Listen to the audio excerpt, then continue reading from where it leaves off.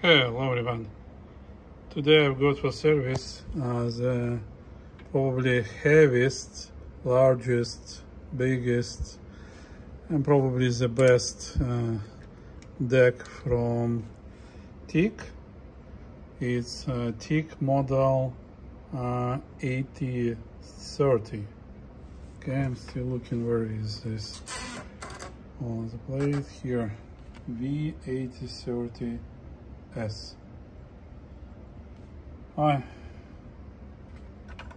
Looks pretty nice. Let's power on.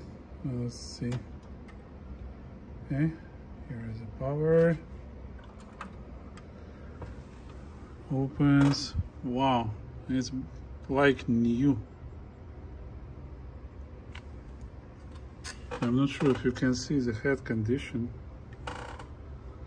but it's a rare case these days when we can see it. I a little bit dirty capstan shafts will be cleaning. So the major complaint is electrical tuning, that it calibrates not very well. So, phones level. So what I will be doing, like I will be uh, cleaning, uh, lubricating tape transport. And we will do electrical tuning for this guy. As of now, let's let's see how it perform. Get a test tape.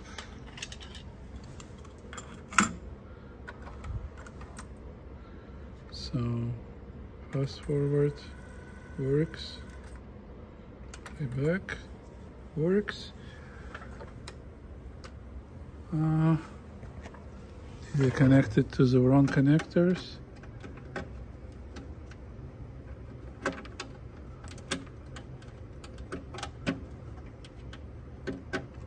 No, still don't see anything on the output. I see here on display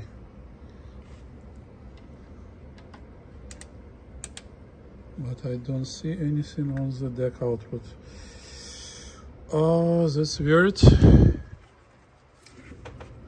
Uh, let me see, maybe I connected to the wrong spot. See you in a moment. And here we go. That's we are playing. I see azimuth is way off on this deck. Let's see, six kilohertz, seven, eight, nine, ten,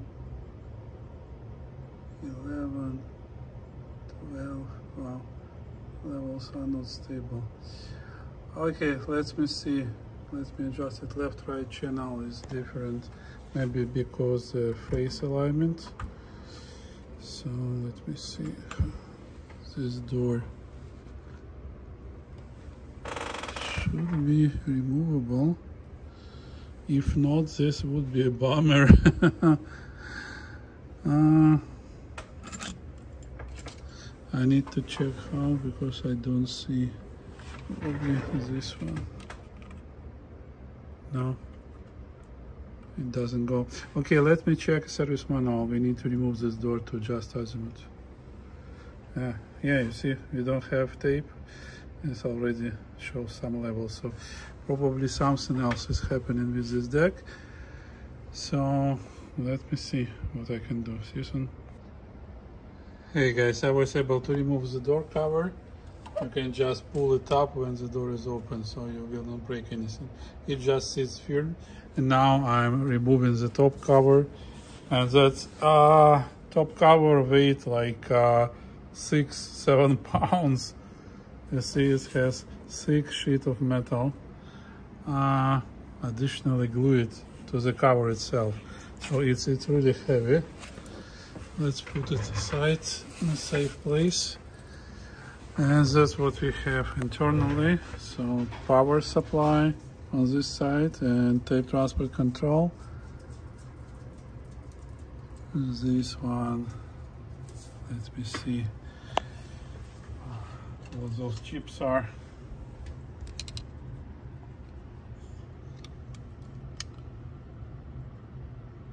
Sony CXA 14175. It's it's Dolby chips, but I didn't see that before.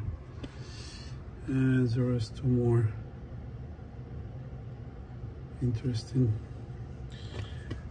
And it's uh, record and record amplifier I believe. This one is playback amplifier and this one is record amplifier.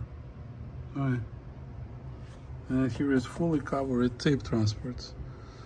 So it's built like a tank. Everything is so thick so heavy so sturdy. Uh, let's believe that this will sound the same cool as it looks like because this deck is, is one of the last built by Teac. so let's see. So far disassembling and this way takes like lots of time. Now I will be removing the front cover. Top cover like it's been 13 screws for the top cover. Imagine that right? Now like let's see front cover I believe 10 more. Alright, see you soon. Hello everyone finally I was able to remove tape transport. So it's require disassembly of side panels. I removed them from each side.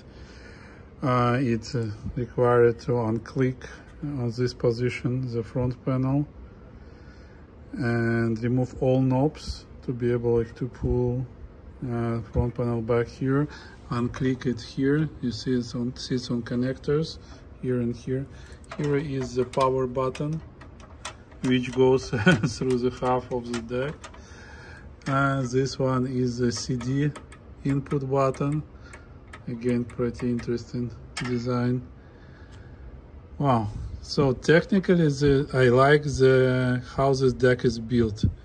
Everything everything everything is very high grade technology like everything is brand new and it's uh, tightly covered it looks like new. But the assembly is a little bit of nightmare. Uh, that's how many parts we have to remove. And front panel just to get tape transport out of there. Okay now I can work on it independently from this uh, large body. So yes this was records amplifier this one this one is playback amplifier. So playback head connects here record head connects here erase head here. And it's 150 kilohertz uh, bias deck so it should be recording better. Alright moving on I mentioned that when we complete with the tape transport we would need to see so there is like a hum noise coming. It may be quite long process to find where it comes from. And there is no guarantee of success. Let's see. So see you soon